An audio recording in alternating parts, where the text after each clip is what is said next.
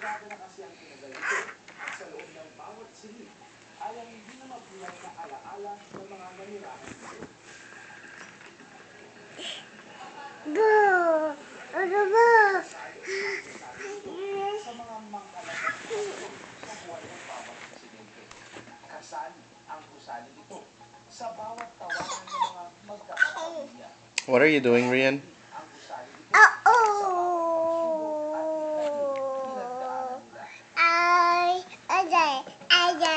I, I,